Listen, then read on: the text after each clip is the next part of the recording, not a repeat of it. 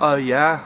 I just wanted to say that it really irritates me South Park would say that red-haired people don't have souls, okay?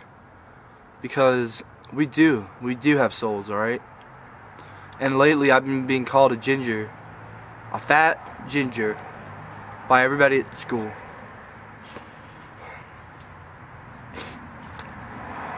And it really hurts my feelings. I like it doesn't, but it does really bad. Gingers have souls!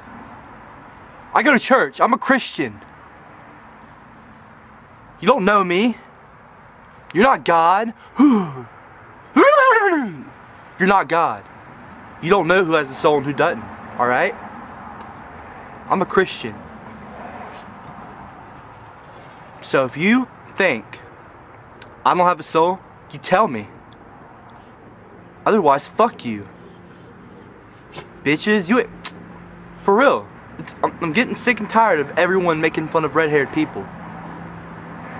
Like, ah, he's a ginger. Ah, he's a ginger. Really, that's funny. Yeah. Haha. okay. Ha ha. I'm being called a ginger every single day at school. Every day of my life. And I've contemplated suicide, all sorts of things. It pisses me off. Ginger people do have souls, alright? I'm red hair.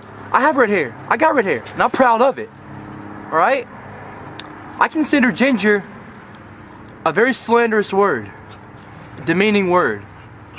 And I'm tired of it. Tired of it. You know, everybody else gets respect. I mean, black people, white people, Mexicans, everyone. Gingers, why why do gingers have to be put down so much? Like, really, what's so different about us besides our hair color? Huh? Really? What is so freaking different? Tell me! God! Because I don't really see much of a difference, okay? I'm redhead, I'm redheaded, and I'm proud of it. Alright? Everyone else, I'm sorry. I don't mean to insult you. But, you know, I mean, I'm proud of me. I'm proud of myself, you know? I'm proud I got freckles, you know? It's who I am. God made me that way. And I have a soul. So, yeah. Don't freaking be like that, okay? I have a soul. Ginger and proud of it.